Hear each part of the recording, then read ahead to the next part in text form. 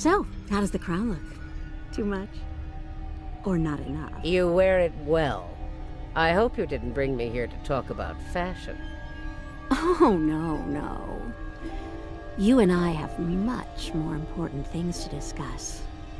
Then let's get to work, Empress.